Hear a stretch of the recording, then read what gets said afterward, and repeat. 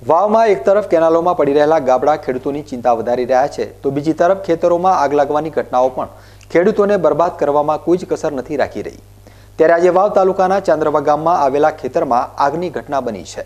આગની ઘટનામાં ખેતરમાં ભાગ્યા તરીકે કામ કરતા ભાગ્યાની ઝૂંપડી બળીને રાખ થઈ ગઈ છે.